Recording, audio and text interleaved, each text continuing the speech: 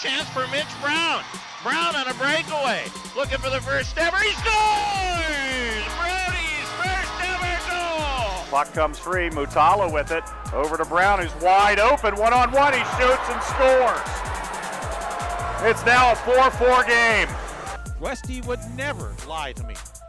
Mitchell Brown from line shot scores through traffic, and the Americans have tied it up at 1 1. An innocent looking shot that Seeing Eye finds its way all the way through, and Tri Cities has even the score. Up the board, Jaremko intercepts. He'll send it back to the point, kept alive. Here's a shot. Brown deflected, scored. Jaremko. Stolen back into the zone come the Americans. Mutala, he goes to his backhand and he's stripped. And a nice job to get that puck away as the puck shot from the near wall is in the back of the net. The Americans take the 1 0 lead.